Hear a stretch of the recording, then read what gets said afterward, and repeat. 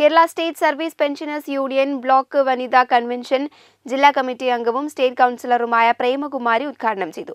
Block കൺവീനറും state കൗൺസിലറുമായ A M ജമീലയുടെ അധ്യക്ഷതയിൽ ചേർന്ന യോഗത്തിൽ ജില്ലാ രക്ഷാധികാരി എം പി അസൈൻ മാസ്റ്റർ ജില്ലാ കമ്മിറ്റി അംഗം M Raghavan master block secretary B Beerankutty Ratnakumari teacher block vice president Umaiba Banu teacher block vice president Umaibanu teacher block committee അംഗം കോമളവല്ലി തുടങ്ങിയവർ സംബന്ധിച്ചു.